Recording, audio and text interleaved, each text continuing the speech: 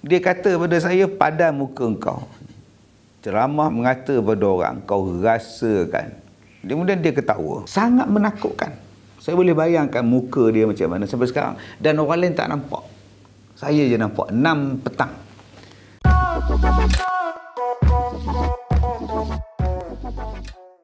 Saya dapat penyakit ni uh, 21, saya ingat tarikh dia. 21 September 2021. Maknanya hampir setahun yang lepas. Kemudian puncanya kaki saya bengkak. Semada bagaimana telinga saya dibengkak. Ha, ni sekarang ni telinga saya bengkak kan. Bengkak di sini sama macam bengkak di kaki. Jadi bila bengkak di kaki, saya kata apa masalah kaki aku ni? Saya jumpa doktor. Doktor kata bisul. Saya kata bisul tapi tak ada mata. Jadi dia kata bisul lah. Tunggu lagi dua hari Jumaat you datang kita kasih settle lah. Okey. Sejak daripada situ yang saya tak boleh berjalan tiga hari. Kaki saya tak boleh berjalan lepas dia buat. Kemudian dia mula jadi yang sekarang. Daripada kaki, betis, naik ke peha, naik ke perut sampai ke dada saya dan benda tu yang saya sorok pada orang kemudian dia naik ke muka dalam tempoh dua bulan ni dia naik ke muka saya. Dan yang dia tak kacau sangat hanya bahagian kaki, uh, tangan saja. Uh, tangan saya ni masih ada juga tapi dia taklah seteruk tempat lain. Ada juga ni ha, macam ni kan. So bila saya terlibat dengan penggambaran filem sampai satu scene uh, filem ni cerita tentang saya punya kehidupan, sakit saya dan sebagainya. Satu scene buat untuk saat saya sakit. Uh, pengarah nak kita nak buat filem uh, buat scene ni uh, penyakit kulit tu uh, tunjuk pada penonton. Jadi takkan nak tunjuk di peha, takkan nak tunjuk di belakang badan. Jadi tanganlah, ah tu yang tunjuk di tangan.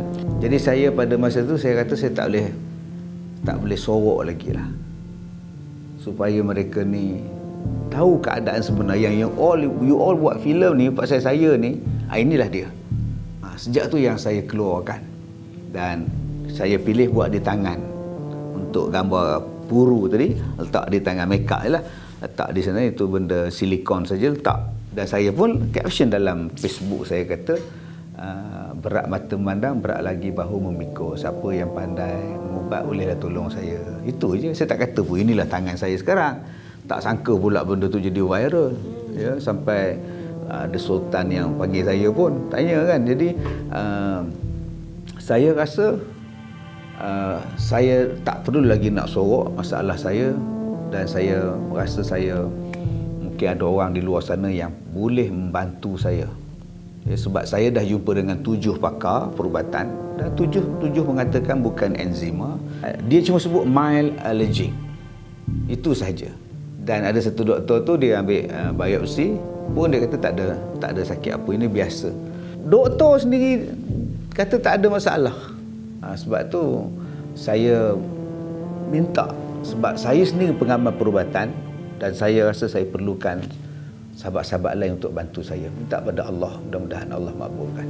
Tahun 97 saya kena santau balik daripada Kiamulail di sebuah camp. Saya rasa lain macam dada pedis, nak rasa nak muntah. Bila saya minta besen bekas untuk saya muntah, makin banyak pula muntah daripada besen kecil tu tukar jadi baldi pula muntah. Itu first tahun 97 dan saya pergi ke hospital doktor kata jangkitan virus tidak ada apa-apa balik rumah sampailah enam hari saya duduk di rumah terbaring tak boleh buat kerja apa tu setiap petang saya lihat ada satu perempuan duduk dekat pintu rumah saya pintu masuk tu dia kata pada saya padan muka engkau ceramah mengata pada orang kau rasakan kemudian dia ketawa sangat menakutkan saya boleh bayangkan muka dia macam mana sampai sekarang. Dan orang lain tak nampak. Saya je nampak. 6 petang. Jadi, uh, keluarga mertua saya bawa saya balik berubat di Kedah. Bawa balik sana, berubat di sana. Saya dah sebulan tak makan. Saya sebulan terbaring jadi kurus kering dalam tempoh sebulan tu. Uh, satu malam saya mimpi dalam mimpi tu satu ulama ni kata kamu kena sihir dan ubatnya ini ini ini, ini. kamu ambil tujuh benda ni kamu campur dan kamu buat ubat kemudian dia tunjukkan pada saya enam gambar orang yang sihirkan saya dalam mimpi tu. Dia ambil macam paku kemudian dia lontar kat dinding macam main dart tu. Ha, satu gambar satu gambar satu gambar. Lima lelaki satu perempuan. Saya pun terbangun dalam pukul 4 setengah pagi 4 pagi. Saya kejut isteri saya tulis benda ni. Ha, tulislah benda apa yang nak buat ubat. Kemudian besok pukul 11 saya dah boleh duduk. Dengan izin Allah. Boleh duduk pertama kali saya cakap mana anak saya nak dukung anak rindu kat anak saya. Masa tu anak saya kecil lagi. Kemudian saya boleh makan nasi first day makan nasi selepas lebih sebulan. Kemudian uh, tahun 2001 2000 tahun 2000 saya pindah pada rumah tu. Rumah yang saya kena sihir tu. Waktu saya tengah sibuk duk angkat barang datang suami isteri. Dan suami isteri dia kata ustaz kami datang ni nak minta maaf kami yang sihirkan ustaz. Jadi saya kata saya dah tahu lama dah. Mana lagi empat orang? Jadi dia tanya mana ustaz tahu kami berenam? Sebab mimpi tu enam orang. Itulah dia. Tapi saya nak jumpa tiap-tiap hari dia orang ni. Pergi jumpa kena. Tapi saya tak adalah tanya nak marah. Senyumbang dia orang macam biasa senyumbang macam biasa macam tak ada apa-apa padahal saya sebab saya nak percaya pada mimpi dia sekadar mimpi kan. Takkan kita nak percaya kan. Jadi saya pun tak ada tak ada tak ada khabar pada isteri saya pun saya tak khabar. Saya hanya cerita tujuh ramuan untuk ubat saya tu. Itu saja. Sampailah dia orang minta maaf saya kata saya maafkan dunia akhirat yang lagi empat orang tak datang. Dia orang malu nak jumpa ustaz. Ha, tak apalah. Dan laki-laki ni dia jadi anak murid saya. Bawa kereta saya. Ha, jadi daripada benci, bila saya maafkan dia jadi kawan. Jadi ha, itu yang pertama orang yang datang mengaku. Kemudian yang terbaru. Ha, yang terbaru ni September 21 tu. Saya rasa benda ni pun kecoh viral juga. Bila orang bakar gambar saya dalam bekas abu mayat dengan abu-abu sekali. Saya arahkan pegawai saya untuk siasat siapa yang bakar. Dan orang tu datang juga minta maaf. Dia hanya disuruh bakar. Dia kata awak bakar gambar ni sebab kita nak selamatkan Ustaz Kazim. Jadi hamba Allah tu luar benda yang gemaknya dia pun bakar. Dan selepas itu yang bengkak tu. Kaki saya yang bengkak yang doktor operate yang tidak ada luka ha, itu. Jadi banyak orang yang datang jumpa saya dan um, minta maaf.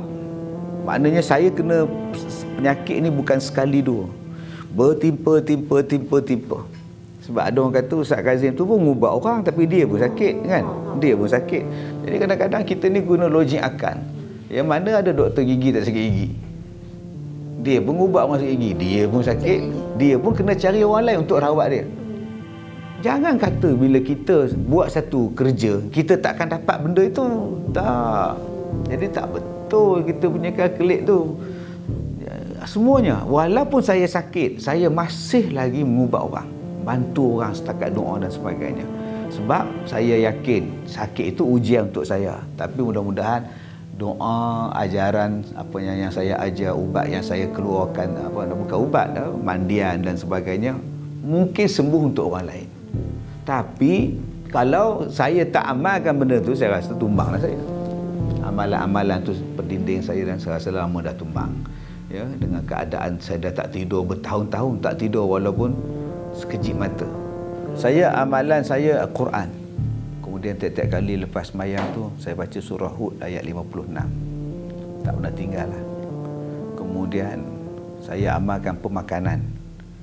Ha, Quran, semayang, sedekah sedekah tu paling banyak tolong. Sebab tu saya buat sedekah ni saya alhamdulillah jangan kedekut dengan orang. Jangan kedekut. Itu yang Allah bagikan kekuatan pada kita. Banyakkan bersedekah bila kita sakit ni insya-Allah sakit tu tak tak jadi mudarat pada kita. Sebab kadang-kadang orang, orang ni bila nampak saya sakit keluar dalam TV keluar dalam paper Ustaz Ghazal sakit tapi dia jumpa di luar macam baru ni saya buat penggambaran filem dekat satu tempat di Gopeng Dan orang kampung datang tengok. Satu pak cik tu kata, kata sakit. Oh, saya kata, saya tak pun sihat. Habis tu boleh ni sana sana sini sakit apa benda ni kata dia. Lepas tu datang uh, penolong pengarah kata Pak Cik jangan percaya dengan media sosial. Dia yang tulis. Dia kata dia sakit. Dia marah benar Pak Cik tu. Dia faham sakit tu kena duduk di rumah. Dia kena ha, kena masuk hospital tu. Ha, tu makna sakit. Saya bukan jenis tu. Melainkan kalau saya accident patah riuk tu terpaksa lah duduk kan. Macam kaki saya sakit, kaki saya mengecik. Dua-dua belah ni makin mengecik. Tak ada pula saya duduk di rumah. Tapi saya nak pergi mana-mana saya naik basikal bateri, motor, motor bateri kan. Ha, jadi saya tak nak menggunakan kaki saya dengan banyak. Jadi bukan maknanya bila saya sakit tu saya duduk diam. Saya tak nak layan sakit. Saya terapi saya ialah mikrofon. So bila saya dapat mikrofon saya rasa sihat. Saya lupakan penyakit saya. Walaupun sakit kronik nama dia jantung. Ha, itu itu petua buat sesuatu yang kita suka insyaallah kita lupakan apa yang duka. Uh, perut saya membesar paling-paling besar uh, 42 uh, sekarang uh, 36 pinggang saya Ha, taklah taklah besar, taklah kecil kan 36 tu besar jugalah. Tapi nak ngandingkan dulu 42 kan. Tapi masa tu saya tetap keluar dalam TV.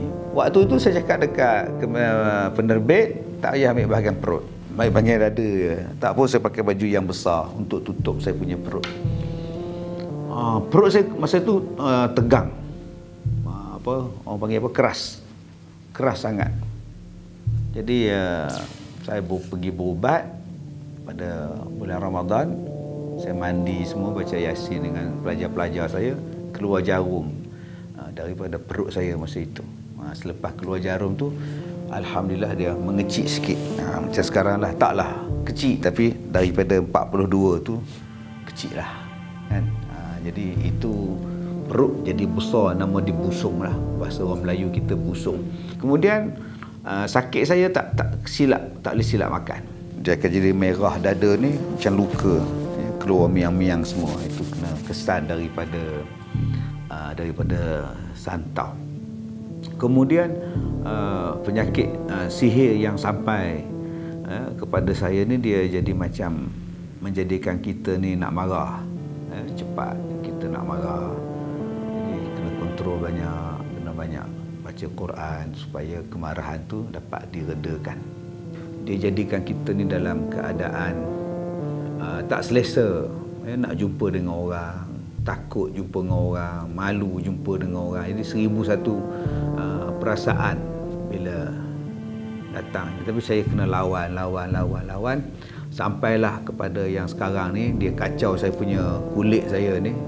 Ya dari satu badan ni sampailah ke muka sekarang. Itu dia dah melampau lah. Bagi saya dah melampau lah. Dah berani lah sampai dia usik muka saya sebab tu uh, saya perlukan sahabat-sahabat doktor-doktor pakar untuk tengok benda ni. Sebab ada yang ngubat saya masuk ICU lepas ngubat saya. Ada yang dengan tak tahulah takdir Allah meninggal dia. Dia kena attack. Ada yang sedang mengubat saya rumah dia kena baling batu. Dia ngubat saya ni auzubillah ngumbat ngumbat ngumbat ngumbat ya Allah keluarlah kau saya tengok aja. Tiba-tiba handphone dia bunyi. Lama dia, dia keluar rumah. Saya tanya apa eh? Isteri telefon. Rumah saya kena attack. Kena balik dengan batu. Tak tahu siapa balik. Pompam pompam pompam saya tapi baliklah ustaz. Terus selesaikan masalah rumah awak tu. Sebab itu banyak orang yang datang nak mengubat saya saya akan tanya pada dia. Setakat mana berdinding awak?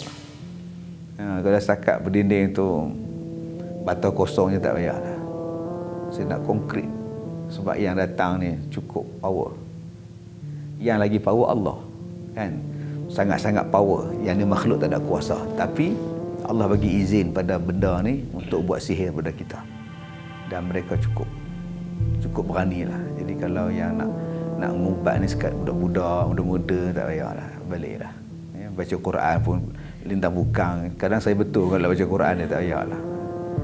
Jawapan dia dengki. je dalam Al-Quran kan surah An-Nisa kalau kita buka ayat 54, 55, 56 cerita tentang uh, Yahudi yang yang dengki pada Rasulullah sebab tak dilantik orang Bani Israel menjadi nabi.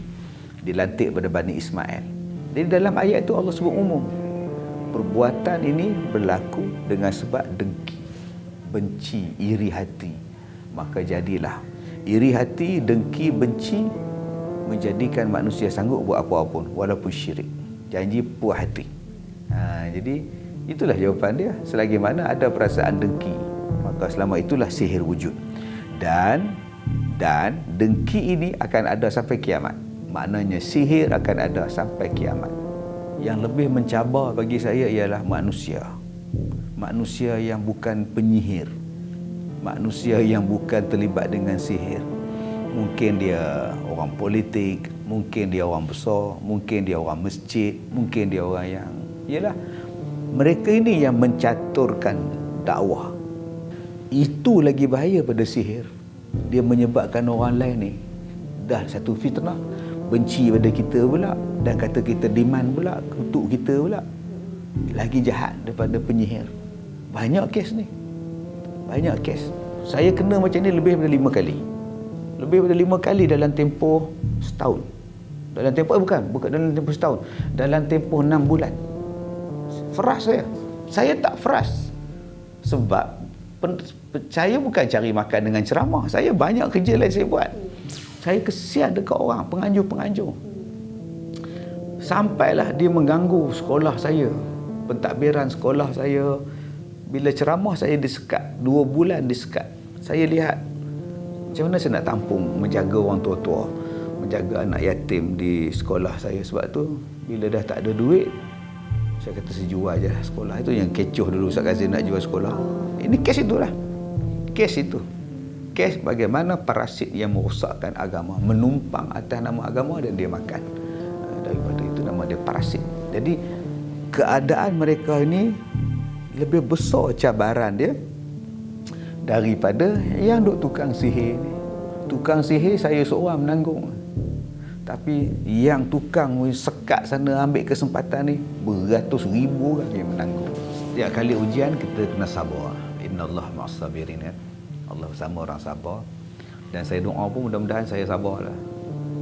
Yang kedua, jangan takut dan lari daripada ujian. Fokus pada solusi bukan pada masalah kalau kita cari masalah tak selesai. Siapa yang buat ni siapa yang buat tak selesai pun. Kita cari apa jalan penyelesaian insyaallah ada jalan penyelesaian dia. Yang ketiga ada benda yang Tuhan nak bagi pada kita. Selepas setiap satu ujian kita lalui.